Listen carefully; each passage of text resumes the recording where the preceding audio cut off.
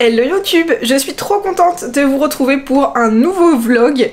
La semaine dernière, on s'est pas vraiment retrouvés parce que je vous avais préfilmé une vidéo sur comment devenir tatoueur. Mais sinon, je ne vous récupère qu'aujourd'hui. On est déjà vendredi parce que, comme vous le savez peut-être, la semaine dernière, je suis partie en vacances. Et en fait, je pense que j'ai un peu trop pris le rythme des vacances. Je pense que j'avais tellement besoin de repos qu'en fait, même en début de semaine, j'étais hyper fatiguée. J'avais pas l'énergie de prendre la caméra, euh, de filmer tout ce que je faisais et tout. Donc en fait, je vous avoue que je me suis pas mal reposée. Mais j'ai aussi bossé de mon côté, du coup. Euh, comme d'habitude, là, j'ai repris les cours. Donc le mardi, dans tous les cas, je donnais cours. Et le lundi, je préparais mes cours. Donc voilà, mais en gros, mercredi, jeudi, j'ai dessiné de mon côté. Et je vais vous raconter ce que j'ai fait. En fait, semaine prochaine, euh, on va avoir un programme très chargé parce que je tatoue toute la semaine. Et du coup, j'ai dû commencer à dessiner les projets clients. Donc déjà, pour vous raconter on va avoir un flash à réaliser. Donc le flash baleine que j'ai réalisé l'année dernière m'a été réservé. Donc j'ai commencé à faire des petites modifs dessus pour le remettre au goût du jour et pour l'upgrade un peu plus. Euh, d'ailleurs, il faut que j'envoie le croquis à la cliente, donc on va avoir ça euh, à finaliser. On a aussi un projet chat. Donc j'avais déjà envoyé un premier croquis à ma cliente qui était celui-ci, que j'adorais et du coup je le propose en flash parce que la cliente n'a pas aimé le croquis et à la place elle m'a donné d'autres inspirations et on est donc parti sur ce croquis-ci qu'il faut que je finalise encore pour la semaine prochaine. On a un autre projet client euh, un peu plus fou j'ai envie de dire, vous allez comprendre pourquoi. C'est une cliente du coup qui a un petit caniche et qui souhaite que je réalise le portrait de son chien de manière euh, simple euh, sans ombre, enfin en tout cas avec très peu d'ombre, mais qu'on reconnaisse quand même les caractéristiques de son chien. Elle m'a demandé précisément d'avoir en fait une oreille collée et une oreille en l'air et euh, qu'on voit les dents de son chien parce que je pense que son chien, euh, voilà, on doit voir ses petites dents au quotidien. Donc je lui ai fait ce croquis ici, pareil, il faut qu'on le finalise. Et le dernier projet qui est déjà fait, que j'ai fait donc ces deux derniers jours, c'est celui-ci. Il est déjà terminé, j'ai proposé à ma cliente de rester un peu sur un mood plus gravure et de pas essayer de mettre des ombres parce qu'en fait on tomberait directement ou assez rapidement en tout cas un peu sur du photoréaliste et tout ça. Et je pense que c'est pas ce qu'il y a de plus joli, enfin par rapport en tout cas à ce que à ce qu'elle souhaitait. Donc je lui ai envoyé cette proposition qu'elle a validée. Donc là-dessus on est pas mal, je vais reprendre quelques petits détails dans les traits. On a donc tous ces projets à finaliser pour la semaine prochaine, donc on a pas mal de boulot. Et on a aussi une grande mission qui va s'étaler sur, je pense, trois épisodes ou au moins deux épisodes de ces vlogs. Le 14 avril, on fait une flash day donc chez Ellier, donc euh, le shop où je bosse. Et déjà, je suis trop heureuse parce que ça fait mille ans que je voulais faire un une flash day. C'est vrai que dans mon ancien shop, c'était un shop plus privé en étage, donc on n'avait pas vraiment l'opportunité de le faire. Et là, je suis trop trop contente de faire ça. Donc un flash day, pour ceux qui ne savent pas, c'est quand on va prévoir en fait plein de petits dessins à se faire tatouer euh, pour une journée spéciale. Et du coup, les gens vont pouvoir venir sans rendez-vous pour se faire tatouer en direct une des pièces qui aura été préparée. Sachant que l'idée du Flash Day, c'est vraiment premier arrivé, premier servi. Les tatoueurs préparent des designs exclusifs pour cette journée et les gens vont pouvoir venir faire la queue ou en tout cas réserver les dessins. Voilà, mais c'est vraiment premier arrivé, premier servi. Donc j'ai trop hâte de faire ça, ça sera vraiment la première fois. Et c'est vraiment quelque chose qui m'intéressait grave dans le monde du tatou.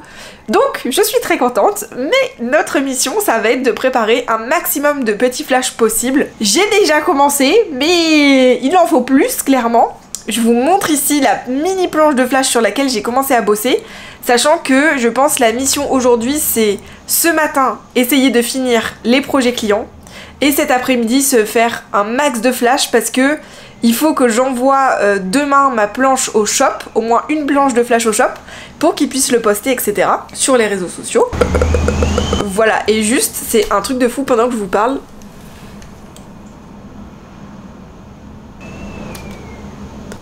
Je sais pas si on se rend bien compte à la caméra, mais en ce moment il y a une tempête, alors je sais plus son nom, qui se déferle sur la France, dont Lyon.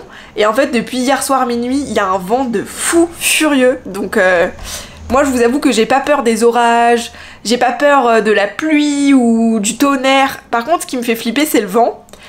Donc euh, voilà, cette nuit, j'étais pas au top, au top de ma forme parce que en fait le vent je trouve contrairement à la pluie aux orages et tout ça je veux dire vous avez quand même peu de chance de vous prendre un éclair sur la tronche alors que le vent même là je le vois devant devant l'appart il euh, y a plein de branches par terre et tout c'est le genre de truc où vous pouvez vous prendre un objet dans la gueule Et, euh, et, voilà, donc ça me fait stresser. Donc en gros, voilà pour ce vlog. On va faire un max de flash, finir les projets clients, ça va être trop cool. Donc je vous emmène tout aujourd'hui avec moi.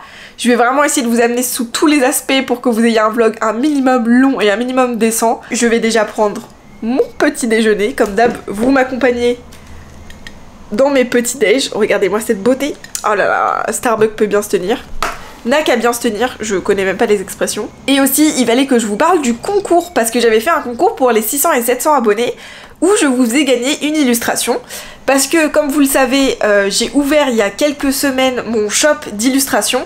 D'ailleurs, si ça vous intéresse d'en commander une, regardez en barre d'infos, vous avez directement le lien. Et surtout, j'ai fait gagner du coup trois d'entre vous. Je me disais que c'était plus sympa de faire gagner trois personnes plutôt qu'une personne, comme ça vous avez tous plus de chances bah, de gagner quelque chose. Donc je vais mettre ici les trois pseudos YouTube des gagnants et des gagnantes.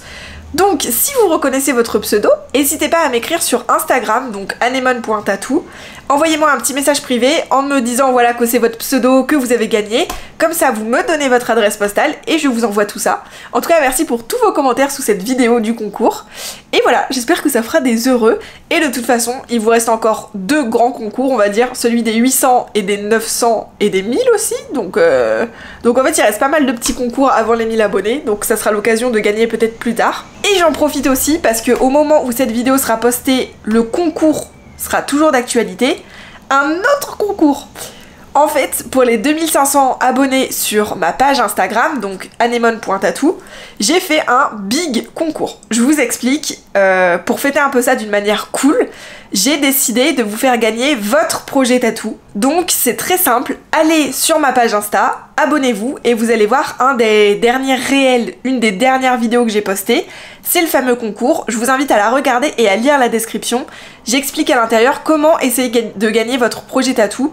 L'idée en gros c'est que vous allez me décrire avec euh, d'autres petites conditions, vous allez me décrire quel est le projet tatou de vos rêves, donc l'emplacement, la signification, le motif, la taille, etc. Et parmi tous les commentaires que j'aurai reçus, je choisirai le projet que je préfère et il vous sera offert du coup gratuitement. Donc si jamais vous avez un projet tatou en tête et que vous avez envie de le réaliser, peut-être que c'est votre chance, donc n'hésitez pas. Euh, en plus, je pense que ceux qui sont sur YouTube, euh, vous me connaissez maintenant, vous savez quel type de projet j'adore tout ce qui tourne autour de la nature et des animaux, c'est des bons points. Vous avez plus de chances de gagner, je pense. Sur ce, je crois que je vous ai tout dit. Euh, je vais me poser sur les projets clients. Je pense qu'on va faire par ordre de complexité. Donc je vais d'abord finir le petit projet caniche. Après, euh, je pense que je ferai le projet chat et ensuite la baleine. Et après, on se met sur les flashs. Mais d'abord, je vais manger mon petit déj.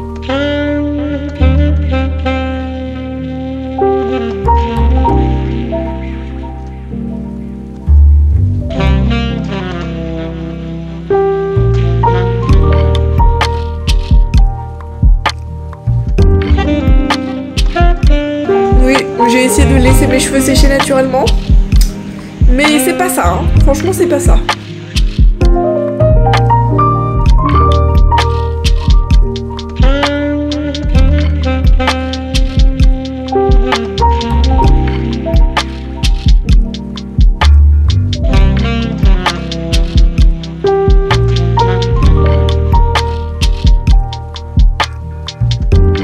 Et oui, pour le, les flash signes, je n'arrive ma vieille tronche avec euh, mes cheveux. C'est n'importe quoi euh, aussi pour le projet signe, vous savez le flash signe que j'avais commencé, que vous avez vu dans le dernier vlog qui est sorti.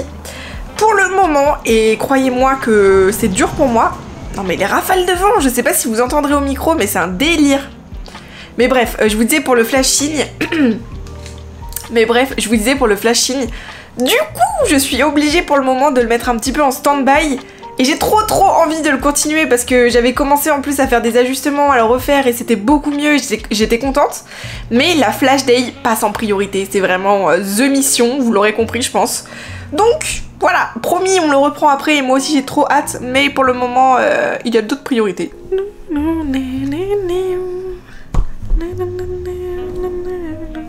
Alors, le projet caniche.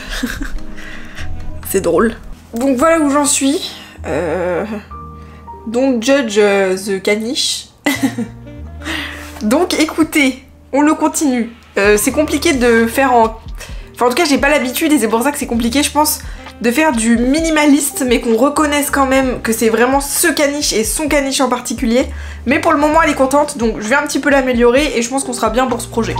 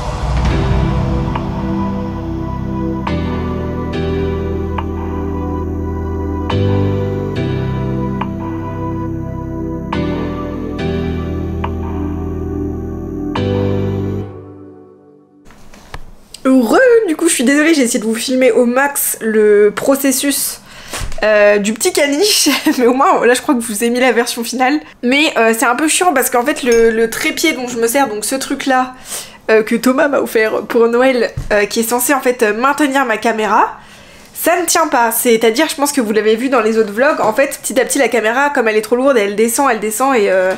Et du coup ça ne filme plus ce que je suis en train de dessiner, à tel point que je suis allée chercher une méga pince pour serrer le truc à mort, et c'est ce que j'ai fait.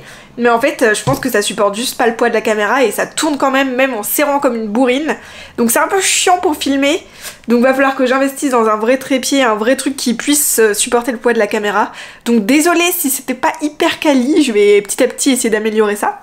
Mais là je vais vous montrer, j'ai un peu repris la composition du coup du chat. Parce que en plus, euh, je vous ai pas expliqué, mais je vais vous montrer la photo. Je dois faire en même temps un cover.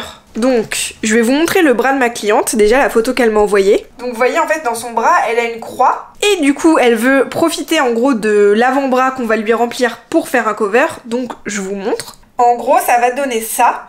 Donc, l'idée, c'est que la croix, en fait, je l'ai mis sous des feuillages que je vais faire bien, bien foncés. Et après, on va avoir cette petite composition-là. Donc, il faut encore que je l'affine un petit peu. Mais ça va donner ça et je pense que ça peut vraiment faire une belle pièce. Mais j'avoue que je suis trop deg et après c'est normal, hein, c'est les aléas et de toute façon euh, en tant que tatoueur on peut pas toujours faire exactement ce qu'on voudrait. Oula, je, je vous avais perdu. Mais j'avais fait une composition que je trouve trop belle, que j'aimais trop. Je vais vous la remontrer, bah, je vous la mettrai ici, ça sera plus simple. Et du coup, j'avais vraiment fait un chat en mouvement avec un petit cœur sur le front. Euh, j'avais fait du coup une deuxième version avec un papillon sur les yeux. Vous savez, c'était pour symbole parce que je vais tout vous expliquer. Je vous ai pas expliqué l'histoire de ce tatouage, mais du coup, ma cliente a perdu un de ses chats. Et du coup, euh, elle veut symboliser ben, son chat sur son bras, etc. Donc elle m'avait demandé, euh, à la toute toute base, elle m'avait laissé carte blanche Et elle m'avait demandé du coup de symboliser le chat avec des fleurs, avec une lune, avec peut-être des étoiles parce que son chat s'appelait Orion. Du coup, je trouvais ça hyper cool et c'est pour ça que je lui avais proposé cette compo. Avec un chat, vous voyez vraiment un peu comme suspendu dans l'air avec donc le petit cœur un peu pour le symbole affectif.